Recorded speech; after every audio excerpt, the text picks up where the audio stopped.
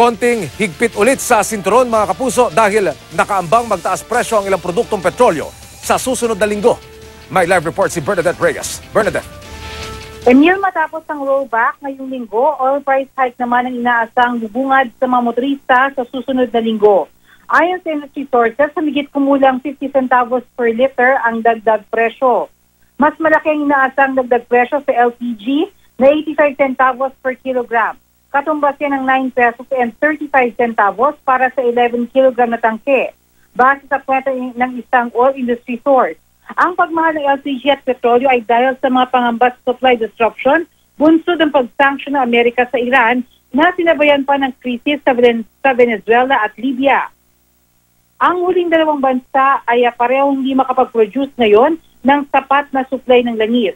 Tataas daw talaga ang presyo ng LPG dahil byproduct ng crude oil ang liquefied petroleum gas. Emil?